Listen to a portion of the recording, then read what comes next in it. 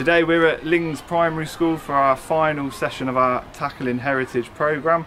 Over the course of the, the programme we've been looking at Edgar Mobbs, Frank Anderson, Freddie Blakiston and the students also had the opportunity to become a historian themselves.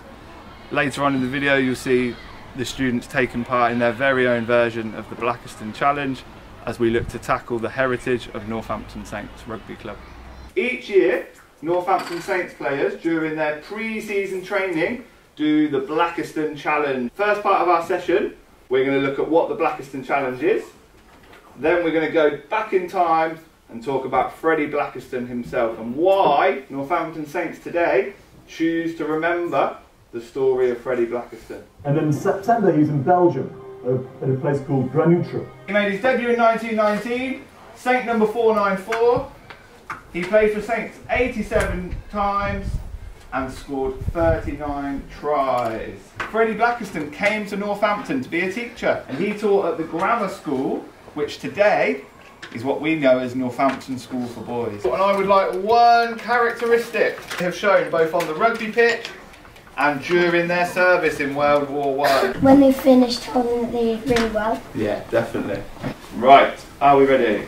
Freddie Blakiston, like you saw inside, big part of our history at the club. Um, it is meant to be a little bit of a physical challenge, but it's also a challenge of our resilience as a, as a person. You might think, oh, this isn't a challenge at all. Other people in the group, you're going to go, this is one of the hardest things I've ever had to do. Help the people out that are struggling, encourage them all the way through. Go!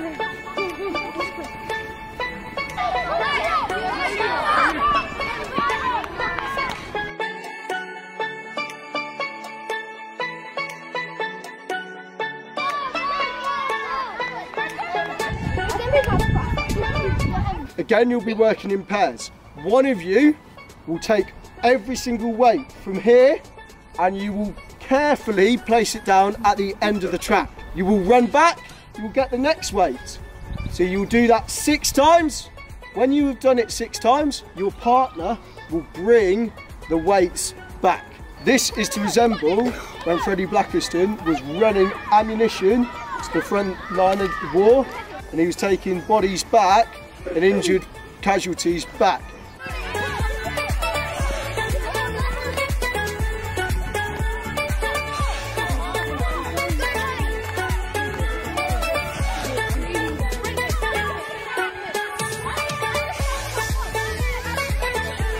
That was really, really good.